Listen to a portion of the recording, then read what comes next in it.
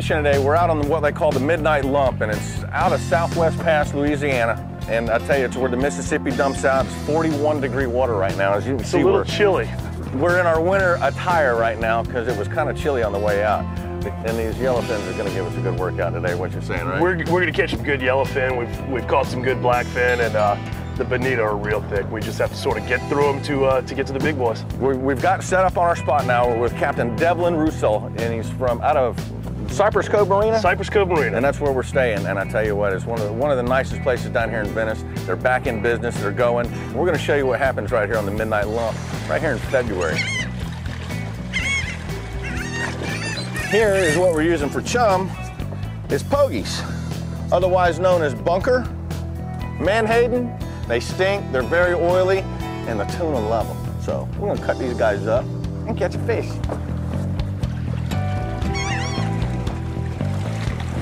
Here, little fishy. Actually, big fishy. There's a fish.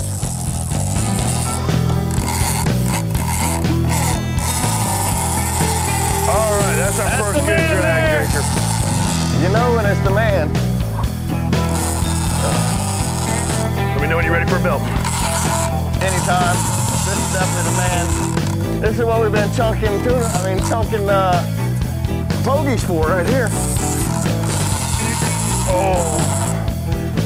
Giving the Wright McGills a test. This ain't a yellow. If it is, he's a little one. How horrible it would be to have to catch a 25 pound blackfin. The consolation prize is not bad. It may not be a yellow. And there he is. You want to tail grab him? Yeah, I'll grab him by the tail. It's a nice little black. Got him? Yeah, got him ready. Rock and roll. Let's get him back That's in the black Uh, fan. You say this was not going to get the typical Louisiana release, huh? I think we'll let this one go You know, the typical Louisiana release into the fish box, is usually right in the fish box. and then right into the frying gonna- pan. Let me show him off out there. It's pretty fish. Pretty fish, beautiful fish. Blackfin tuna. Not the exact species we're going after, but as Devlin said, you can sure tell the difference between these guys and a bonita. Now, the way you want to let these guys go, if I, correct me if I'm wrong, just give them a good jolt in the water. Yeah, Blair, just throw him in the water. He, All right, you got it. Straight down. yeah, straight down. Throw him as hard as you can. One, two, three, say goodbye. And away he goes. Blair, when you throw him in like that, it gives him that little jolt, and it gets him going right away. Well, that one definitely got a jolt of air through his gills in. So what all that and all that does is just make him come back alive real quick after you keep him out of the water. He gets back down there in the school and tells the other guys down there to come eat this chum. Well, uh, I guess it's time to take a break. We're gonna weed through some more of these bonitas and uh, hopefully be back on with a big yellowfin.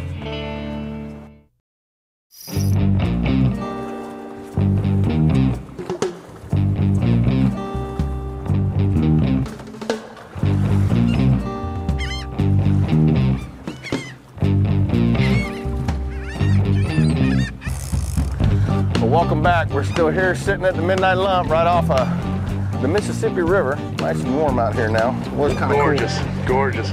And we are going to try to attempt to get us another one of these tuna. Except this one we want it to get be a, We want about 160 pound yellowfin. of the yellow kind. Rigged up using pogie chunks. Simple way to do it. You toss out your pogie chunks and you just slowly, slowly feed it back to them. You don't want any tension on it. It's got to look like a normal part of the chum slick. It's got to look like a normal piece of cut pogie drifting back. Yeah, absolutely. Which you see in nature about 365 days a year. Yeah. And people say, oh, cut pogies. Nobody cuts pogies, but these there's wahoo out there, and wahoo you said have it's only fish that have teeth like scissors. Yeah, they're scissor teeth. They, they go like that, and they No, will they will cut your line quick. Clip the baits too, so it's not an unnatural look for these baits to be clipped in half.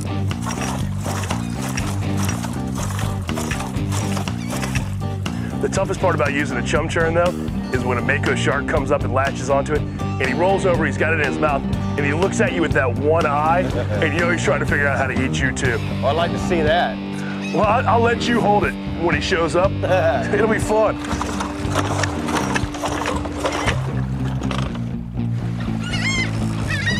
These guys still put up pretty good over there. Oh, here we go, here we go. Oh, boy. That's the man. That's a good one. Is that the man? That's the man. That's the man? Right, pick it up, get it off the side boat. I think I'm gonna need the bell. Yeah, oh yeah. One nice thing about the uh, fishing on midnight low, Yeah. they, the fish can only dive a maximum of about 250 feet. They can't go down 3,500 like our summertime fish can. That's a good thing. You're gonna be all right, Blair. I hate reeling them up to 3,000 feet. well, how many folks we need to feed tonight, Devlin? We need to feed about 15. About 15? We could use a little camp meat, that's for sure. That's a little yellow, ain't it? Uh, no, actually, that's a big, big blackfin. Holy cow. That's a 28, 29 pound blackfin there. Right up to you? It's a little yellow slack we need it. Perfect. That's a nice one. That's a good one. I guess compared with that other blackie in there, we're gonna have a good meal tonight. I think that's dinner, my friend. Sounds good to me. Sounds real good to me. Circle hook where we're supposed to be. Every time. Every time. Every time. Tell you what, brother. Y'all want to catch some fish and have them pull on you? Come down and give these tuna a try. One thing about tuna that makes them so streamlined out there is if you see their fins here, they'll tuck back and there's a little bit of a ridge right here that just creates it such a hydrodynamic fish. And they use their little fins back here to steer with. But when they fold these pec fins in like that, it just makes them like a, a dart in the water. Absolute missiles. Well, Cam Devlin, when's them yellowfins gonna show up? I don't know, but this isn't a bad consolation right here. These 25 pound blackfin. Let's get him in the box and back in the water. Sounds one like them yellowfins. Sounds like dinner. Oh, what'd you say, Devlin? This is what the wor- the worst kept secret in all of Venice. I don't think there's anybody out there that doesn't know about the Midnight Lump down here in Venice. You know, when the fishing's this good, you're gonna get a lot of boats out here, and it's a beautiful day out here today.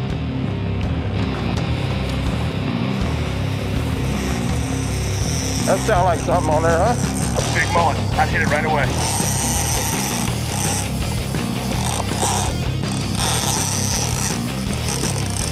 All right, he's hit. Might need more drag on this thing to set that hook a little better. baby so. Huh? Maybe so.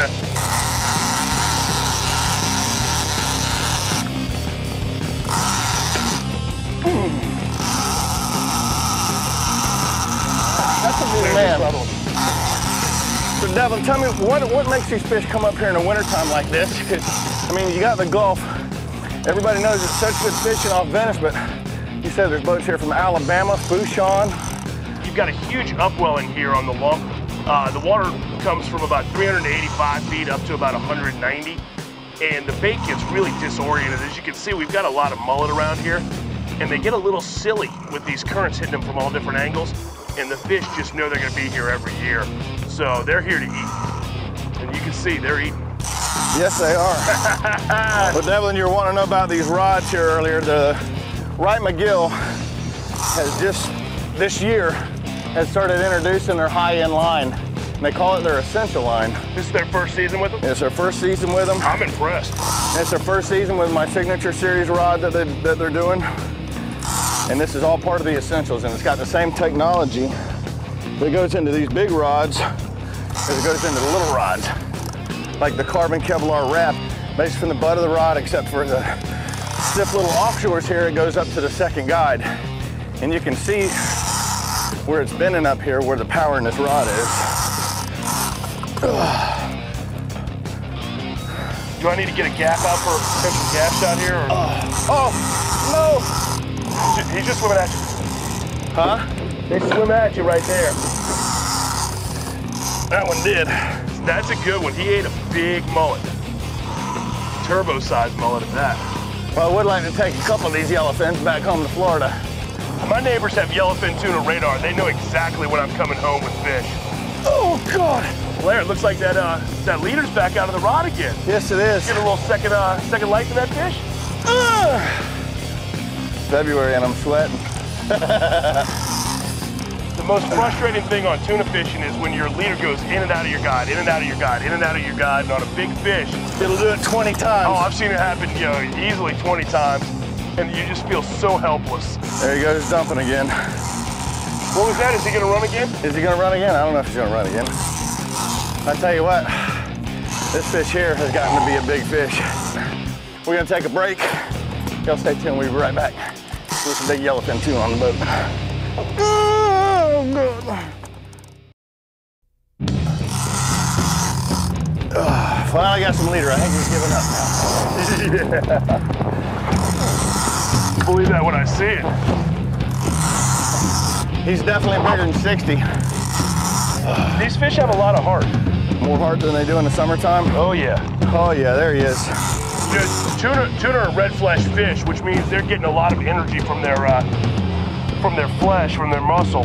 Well, that's why you got to treat their meat like red meat, right? Oh, absolutely. You need to uh, you need to take care of it real well, ice it down real well, bleed it. He's coming up. He's a nice one. Do you think? About 90? Yeah, about, about 75. All right. That's a nice fish. Yo, wait till you see this bruiser. You ready for some That's slack? good. You ready? Yeah, let's go. go ahead. Go ahead. How do you like that? That is a beauty. He's uh, he's actually 85, pushing 90. 90 That's a good pounds. Right there with that eagle claw the guy just wrapped in it. Right where it's supposed to be, right in the corner of the mouth. You see how his uh, his sickles are actually starting to become little sickle fins here? Yeah. You know, in the summertime they're about this long on those 60 to 80 pound fish. But once you start getting a little bit longer than that, and you get some definition to them, is when they're starting to approach 90 pounds. Really? 100, you'll you'll really start noticing sickles. Even those right there tuck They're- in for, for the streamline. And this, this goes straight down here.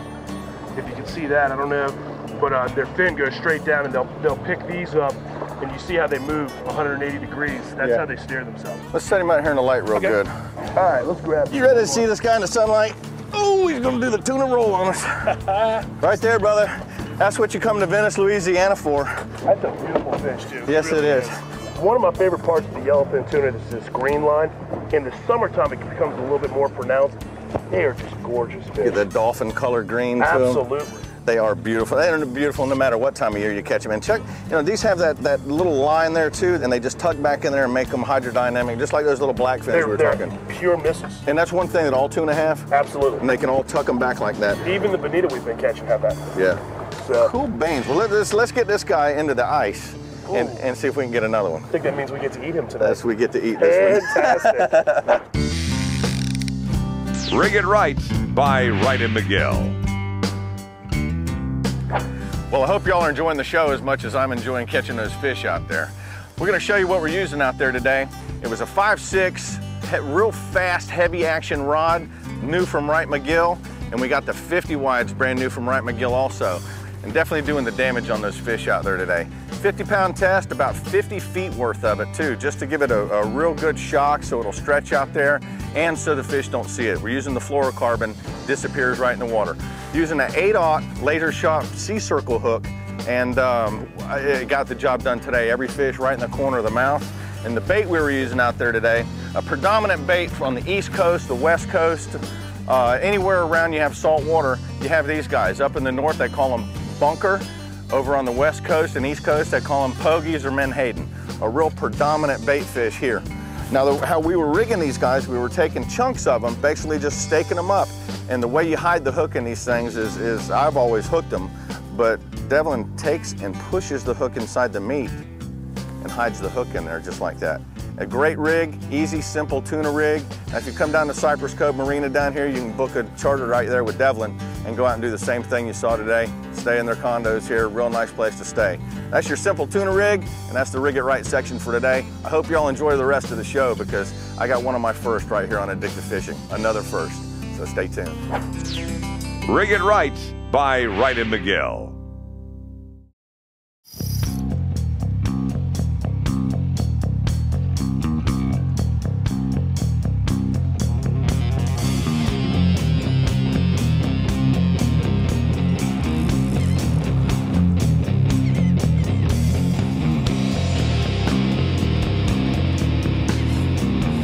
Sitting here waiting for these many species to come out, what are all the species that you can get out of here? We've caught plenty of bonita, blackfin, yellowfin, beeline snapper. The other thing we catch a bunch of out here are wahoo. Uh, we probably won't catch one this way. Um, they'll bite right through the fluorocarbon. Yeah. Uh, but we do a lot of trolling for them with uh, with wire leaders and, and Mirrolures and islanders uh, with ballyhoo. Cool. Um, every now and then some uh, braid marauders. and they are they run big out here. Our average wahoo is about 60 pounds this time of year. Nice.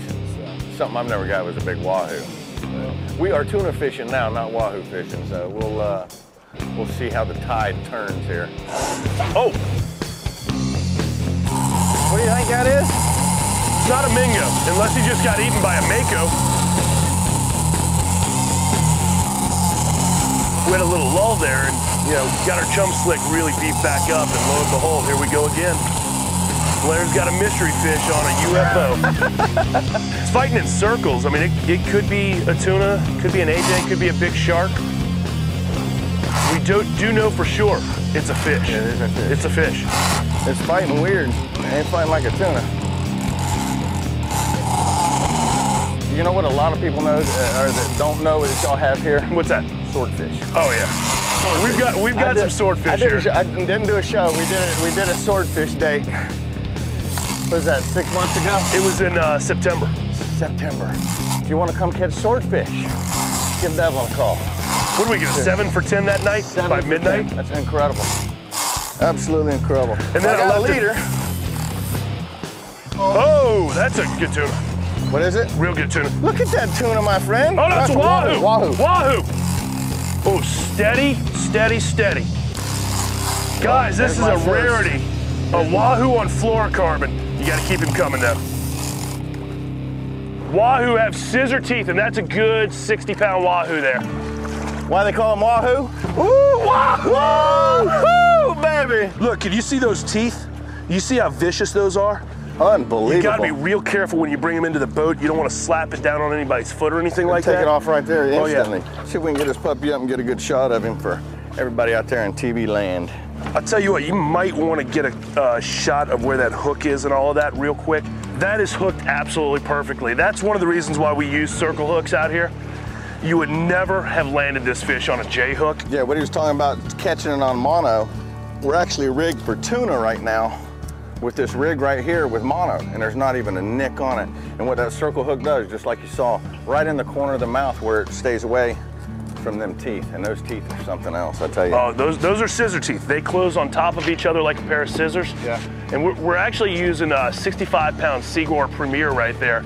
It's really abrasion resistant, and you- you've got to have the best kind of tackle and expect that kind of result. You just don't catch many uh, wahoo on uh, fluoro or uh, or mono. I'm gonna take this gaff out. Just uh, watch his teeth. Go ahead, got him. Ugh. And how big is he, you think? He is 65. He might be bigger than that. Yeah, he might be. look, look how fat he is and how That's- long. For folks, that's my first wahoo. Really, my, my, my last wahoo was about this big. I caught him on a little trout rod. We call those weehoo. Weehoo. Weehoo. But this one here is a wahoo, baby. That's one of the best eaten fish in the world. In Hawaii, it's actually called ono, which translates directly into delicious. Well, let's get this guy up. I want to show him off to everybody out there. Look at that mouth on this sucker. Ugh. Come on over and have a seat on here. Hello, baby. About push me in the water though.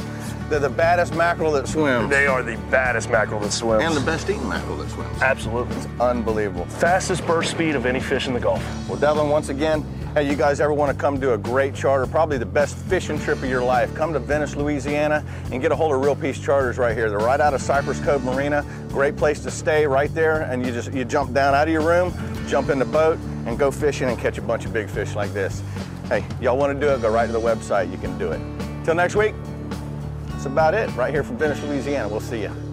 Thanks again, Blair. Appreciate I it. brother. enjoyed that it. was awesome. But as Devlin said, you can sure tell the difference between these guys and a bonita. You think that could do some damage?